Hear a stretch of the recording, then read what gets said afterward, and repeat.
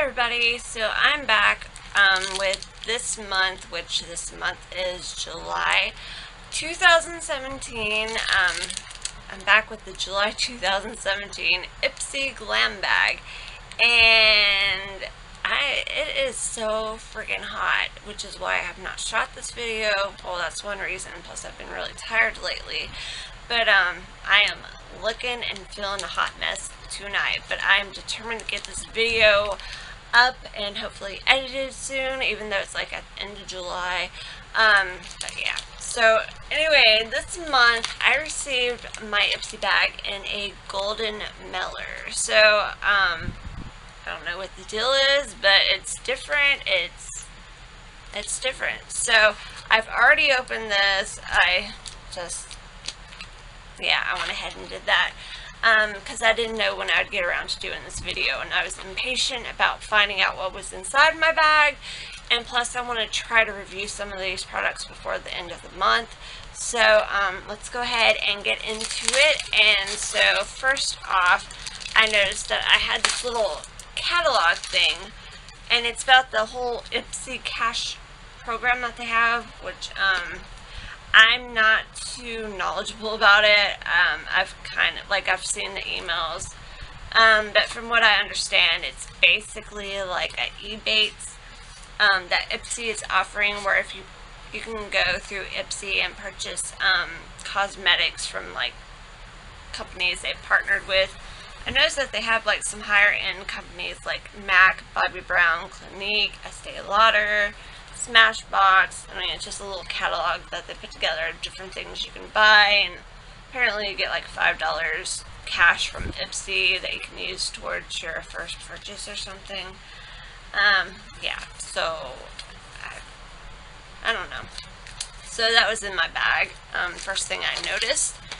And then this month's bag is this little, and I'm going to end up butchering this, but this Gudetama, and which um, I've kind of looked this up a bit, but it's like a really popular thing in Japan right now, I believe, or over in, just in the continent of Asia.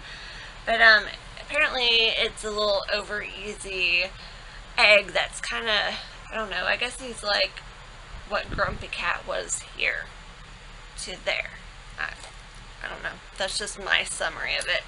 But anyway, so inside the bag, we have, and I've neglected to do this, which um, I don't think I did a video for last month. Lizzie Sparkle did, I believe. But um, yeah, I think I neglected this card in my prior video, my, I guess it had been May video. But yeah, so um, it even says that over easy um, talking about Gudetama. Uh, yeah, so, little card, yay. I don't know if you can hear my fan running in the background, but that's what that noise is. If it's kind of loud and obnoxious, I apologize, but I am going to, like, melt if I don't have my fan right now. So let's get on to the goods in the bag. So first off, we have the and I put it in there, funky. Um, the Ofra Cosmetics um, Gold Rush eyeshadow, and which it's just kind of like a rose goldy color. I actually am wearing it on my lid right now, along with that Makeup Revolution Golden Lights highlighter, and um, with the old Fergie Shimmer eyeshadow primer, but I've kind of got that whole look going on on my lid. I don't know if that's even showing up. Um, yeah. So I thought I'd try it out, and it's it's it's a nice like rose gold color. Um, um, I feel like with Ipsy, like now every time I get an eyeshadow, it's pretty much redundant. Like the colors seem to be really redundant and very similar, and I guess that's just because based off of my coloring, like um, fair skin, blonde hair, blue eyes. I guess they kind of profile that. Like, I know, like, um, golds and browns are kind of like the recommended for the coloring, but I'm just kind of like, wear the bright eyeshadows, wear the more vibrant, bright, exciting eyeshadows. Um, but I, I do like receiving eyeshadows. It's just like, and I like the colors, but it just seems like every time I get an eyeshadow now, it's like and pretty much almost identical to an eyeshadow I would have received like two months prior. And I even got like a little eyeshadow palette and either my May or June bag, I can't remember, that was pretty much redundant to one I received last year. Like the color scheme was almost the same. So I'm just kind of like, come on, could you mix it up a bit with the colors or something?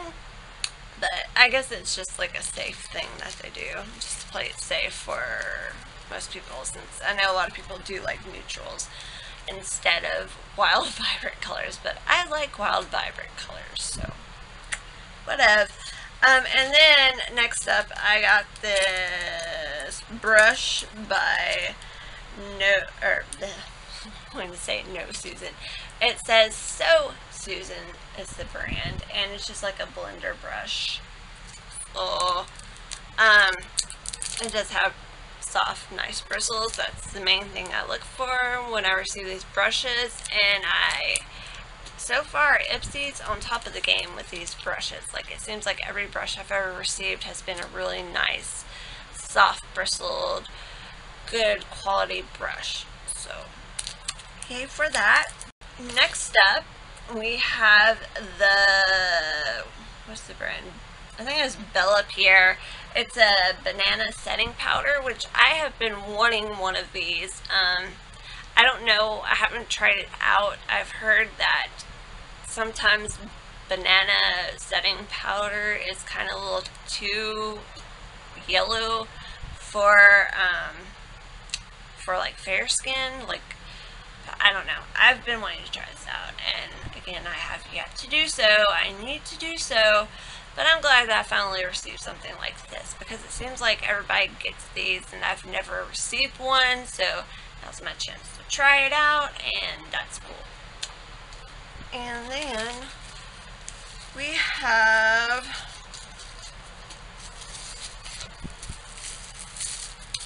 received this. What's it?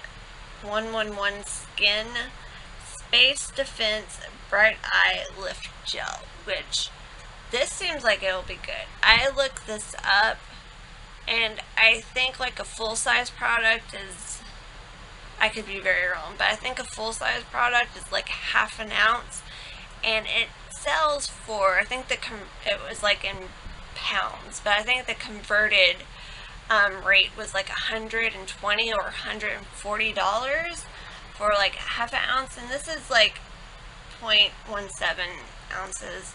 Um, so it's probably it's not quite it's almost two-fifths of the product of the full size. So this is a pretty like good I mean for the price of the actual product it's pretty good size sample. But um I've been wanting like really good skincare products and I've actually found a moisturizer that I really like from a previous bag that I've noticed a lot of actual improvement in my skin which I never expected that from a moisturizer. When I look at a moisturizer just as long as it doesn't like break me out as long as it keeps my skin moisturized without like drying it out because there are some moisturizers out there that do kind of dry out my skin instead of moisturize it. Um, but I've been looking for good quality skincare products, which I'm kind of afraid, like, something that is this high dollar, like, if I really love it, it's going to hurt that I love it so much, because I know I sure as heck am not spending 120 or 140 definitely not $140 on, like, a full-size product. But it's nice to have, like, something that's higher end, just, like, as a luxury treat. And plus it's an eye serum gel sort of deal. So, I mean, it's never too early to start like taking care of your skin and focusing on those areas, especially since I've had a lot of damage from like using acne products on my skin um, over the years, and so this should be um, this should be interesting to try out.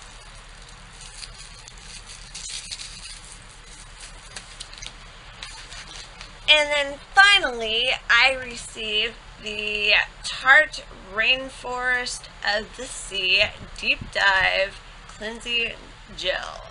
So, um, so far I've liked the Tarte products I've tried uh, from the Ipsy bag. Um, and it's a skin cleansing gel, so sounds good. Um, I have yet to try it, obviously, but again, I like receiving nice skincare products, so this will give me a chance to try this out.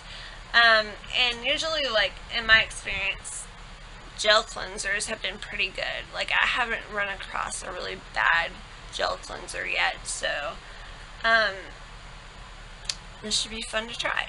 So that is it for my July Ipsy bag, and uh, so far I'm not canceling my bag. I keep like it seems like every video I'm like uh, this may be my last month I may cancel it.